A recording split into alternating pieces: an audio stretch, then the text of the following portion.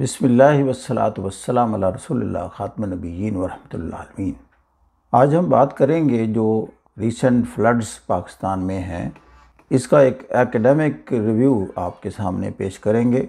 ये जो फ्लड्स हैं, उसकी वजह से जो बहुत ज़्यादा नुकसान हुए और कुछ मज़ीद होने के अमकान हैं। इसलिए कि जो पाकिस्तान के बालाई इलाकों में बारिश का सिलसिला अभी तक जारी है, वो चारों पाँचों दरियाओं से मिलकर रिवर इंडस में उसने गिरना है और फिर उसने मज़ीद, जो ऑलरेडी तबाहशुदा माहौल है सिंध का, उसमें कोई मज़ीद तबाही का सबब बन सकता है बदकिस्मती से।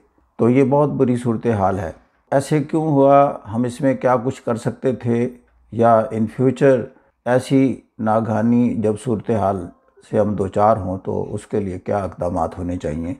ये है वो एकेडमिक रिव्यू जिसको हम आपके सामने पेश कर रहे हैं। एक तो आप जानते हैं कि दुनिया में जो क्लाइमेट चेंज ग्लोबल वार्मिंग की वजह से है, उसके एक असरात हैं। इससे पहले जो हमें वास्ता पड़ा, ऐसी बुरी सूरत हाल से वो 2010 में था, लेकिन इस वक्त उससे भी ज़्यादा ख़तरनाक सूरत हाल है, जिसमें के पी के मुतासर है, सारा बलोचिस्तान मुतासर है, सारा सिंध मुतासर है, और जनूबी पंजाब जो है वो मुतासर है। तो आलमोस्ट सारा पाकिस्तान आप समझ लें। लेकिन जो उसकी तबाही की ग्रेविटी है, वो बहुत ज़्यादा है। अब इस सिलसिले में हुकूमत जो इकदाम फौरी तौर पर एक तो करने वाले होते हैं, एक प्रिकॉशनरी मेजर्स होते हैं कि ऐसी सूरत हाल पैदा होने से पहले क्या हिफाजती इकदाम किए जाने चाहिए। तो इस हवाले से जैसे कि आप जानते हैं कि पाकिस्तान में एक अथॉरिटी 2007 में बनाई गई नेशनल डिज़ास्टर मैनेजमेंट अथॉरिटी इसका मकसद था कि जब ऐसी कोई आफात पाकिस्तान में आए तो उनको अगर फोर्सी किया जा सकता है तो फोर्सी करने के बाद ऐसे इकदाम उठाए जाएँ, जिसमें फिर रेस्क्यू भी शामिल है ह्यूमैनिटेरियन ऑपरेशंस होते हैं, और इनके जो सेटअप है, उसमें जो ये चीज़ शामिल है कि वो पाकिस्तान की मिलिट्री के साथ मिलकर और यूनाइटेड नेशंस के साथ मिलकर वो इकदाम करे।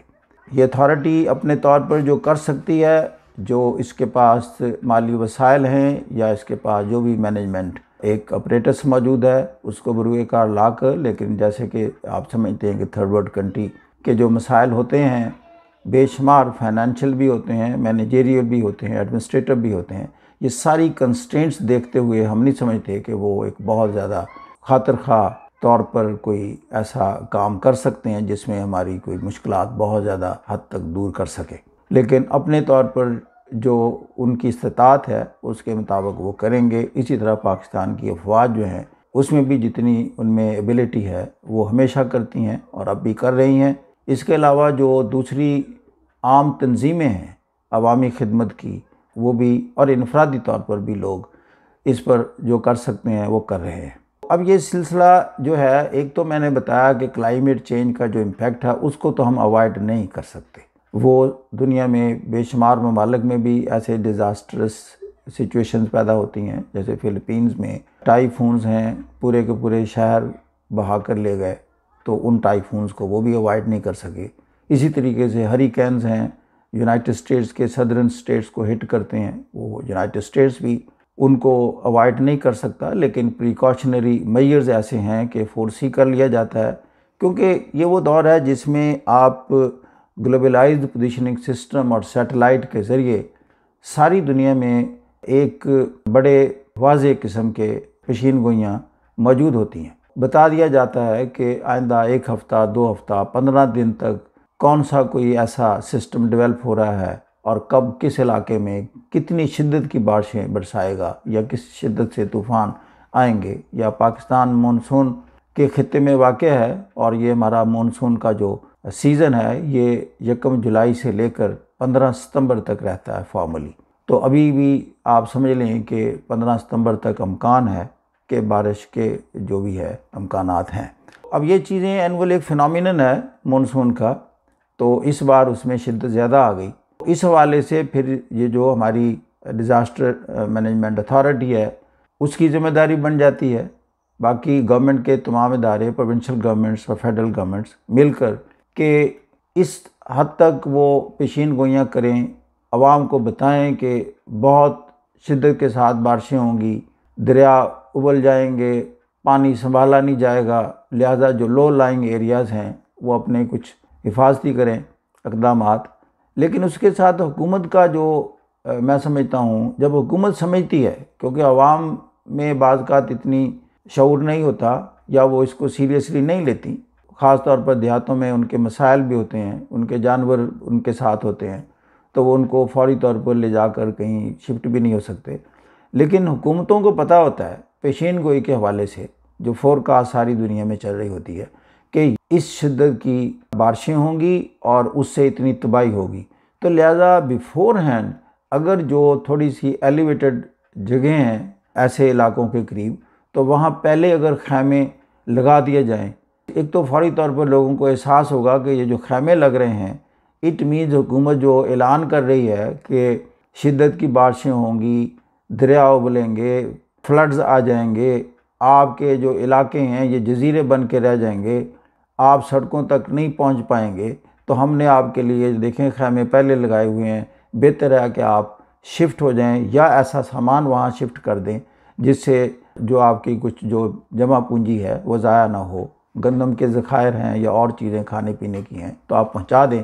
ये चीज़ें बहुत कम हमने देखा पाकिस्तान में, इस तरह इतनी प्रिकॉशनरी मैयर्स इस हद तक बिफोर हैंड के आपने लोगों का ऊँची जगह पर इंतज़ाम किए हुए या स्कूलों में छुट्टियाँ छाटियाँ देने के बाद के उन स्कूलों को खाली करा लिया जाए और बिफोर हैंड ऐलानात कर लिए जाएँ कि आइंदा दस दिन के बाद ये सूरत हाल होने वाली है। अब अगली बात यह है कि जब पानी इतना आता है तो फिर उसका हम क्या करें? देखें, दुनिया में होता है कि जब अजाफी पानी आपको मिलता है तो आप उसको स्टोर करते हैं ये जो डैम बनाने का कॉन्सेप्ट है, वो यही है। पाकिस्तान में जब हमें देखा कि सिंध तास मनसूबा बना तो फिर हमने तीन दरिया जब इंडिया को दे दिए, सतलज, ब्यास और रावी तो फिर उनकी कमी दूर करने के लिए वर्ल्ड बैंक के साथ मिलकर हमने मंगला डैम और तुरबेला डैम बनाए और सात लिंक कनाल्स बनाई, ताकि ये हमारे रावी और सतलज जो हैं, वो बहते रहें। उस वक्त चूँकि पानी की हमें इतनी कमी नहीं थी, लिहाजा मज़ीद डैम बनाने के लिए हमने कोई संजीदगी का आज़ार नहीं किया। काफ़ी अर्सा गुजरने के बाद फिर सोचा कि एक डैम होना चाहिए, ख़ास तौर पर अटक के बाद। चूँकि अटक के मकाम पर सिंध में दरिया काबल उसमें गिरता है तो उसके पानी की मकदार में इजाफा हो जाता है। अब उसके बाद और भी कई ट्राइब्यूटरीज़ हैं, जो कि एक्सफाटा के इलाके से और इवन बलूचिस्तान से जोब की शक्ल में उसमें फिर सिंध में दरिया गिरते हैं। तो फिर उस वक्त सोचा गया कि काला बाग डैम बनाया जाए, ताकि जब पानी की मकदार ज़्यादा हो तो सिंध में दाखिल होने से पहले उस पानी को यहाँ महफूज कर लिया जाए। लेकिन वो सियासत की नज़र हो गया। असल बात यह है कि जब ऐसी सूरत हाल हो, जब पानी की इतनी ज़्यादा मकदार हो जाए दरियाओं में तो फिर उसको कैसे यूटिलाइज़ करें? क्या उसमें गाँव बह जाएँ, फ़सलें तबाह हो जाएँ, या वो सूरत हाल जिससे आज हम दो चार हैं? तो इसको हम जहनी तौर पर एक्सेप्ट कर लें इस सूरत हाल को। माशरे हों या ममालक हों ये कंस्टेंट्स और मजबूरियों में ज़िंदा रहने का नाम है कि ऐसी सूरत हाल में कैसे जिया जाए। अब इसके अल्टरनेटिव क्या थे? आप कोई और स्टोरेज डेवलप करते।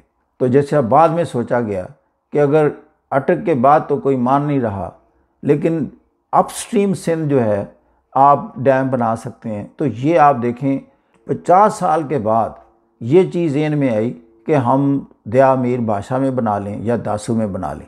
यानी कि इंडस के कुछ पानी को तो रोकें।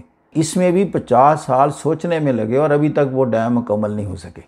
तो ये बहरहाल जो भी हुकूमतें आई पाकिस्तान में रिस्पॉन्सिबिलिटी लाइज विद दैम के वो इस सिलसिले में आगे नहीं चल सकी। दूसरी बात आप देखते हैं कि बलूचिस्तान में पानी की कमी है। हमने छोटे मोटे डैम बनाए, लेकिन वो भी इतने नाकस थे कि अभी जो बारिशें हुई, कई तो डैम ही बह गए। फिर उनकी तादाद भी नाकाफ़ी है। अगर उनकी तादाद में इजाफा किया जाता या कुछ थोड़े से बड़े डैम बना लिए जाते तो ये जो पानी जिसने तबाही फैलाई है बलूचिस्तान में, ये इस वक्त स्टोर हो जाता और ऑफ़ सीज़न में, यानी कि नवंबर, दिसंबर में, उसी को हम ज़रात के लिए इस्तेमाल कर सकते।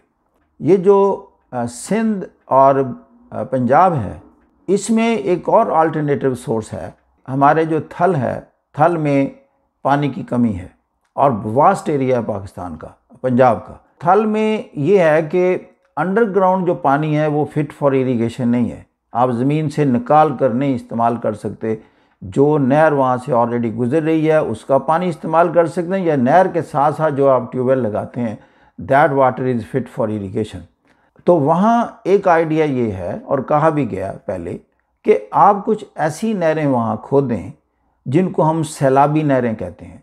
कि आम हालात में तो पानी की हमारे पास कमी होती है, हम उनमें पानी नहीं डाल सकते। लेकिन सैलाबी नहरों का ताल्लक ये होता है कि जब कभी सैलाब जैसी सूरत हाल हो तो आप फिर दरिया से जो पानी है, उन नहरों में भेज दें।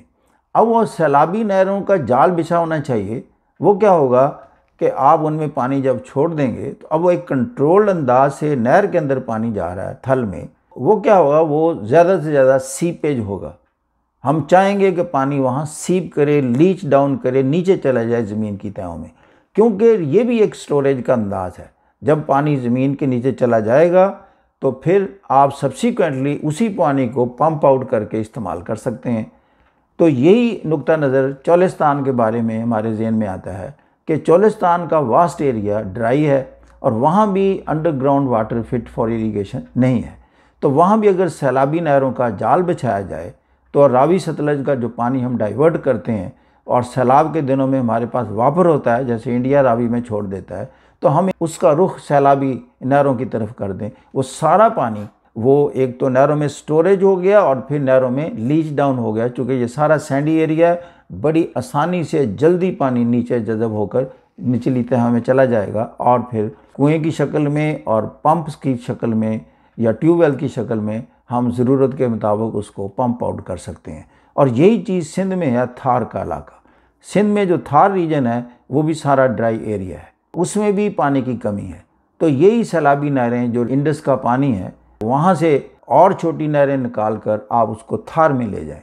और फिर इन दिनों में जब आपके पास बहुत ज़्यादा सैलाबी अंदाज से पानी मौजूद है तो आप उसमें डाइवर्ट कर सकते हैं। तो इसके साथ हम आपसे इजाज़त चाहते हैं। इस दुआ के साथ अल्लाह ताला इस मुसीबत में हमें तौफीक दे कि हम उन परेशान हाल लोग हैं, उनकी मदद कर सकें और मज़ीद अल्लाह ताला बारिशों से बचाए ख़ास तौर पर इन दिनों में। थैंक यू वेरी मच खुदा हाफिज़।